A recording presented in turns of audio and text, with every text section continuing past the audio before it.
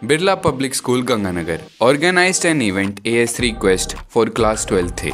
In this event focused on understanding and applying AS3 cash flow statement, which is an essential accounting standard in India for preparing financial statements. AS3 provide guidelines for presenting cash flow helping stakeholders assess the liquidity, solvency, and overall financial health of an organization. This standard outlines how cash flow should be classified into three activities operating activities, investing activities, and financing activities. Here, mainly records the inflow and outflow of cash and cash equivalent. Birla Public School, Ganganagar. Step ahead.